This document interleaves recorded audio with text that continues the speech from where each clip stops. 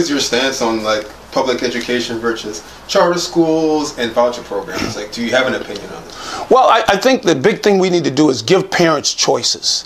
You know, eh, give pe- parents choices, and they're going to make the best choice for their children. Uh, you know, students and children don't belong to the state; they belong to their families. Like, how do you think your leadership abilities transcend from on the field to off the field? Like, how do you think you can make that leadership really work in places like DC? Well, you know, I, I think that my leader, the leadership that I've learned through my football career uh, basically is that you've got to back up what you say.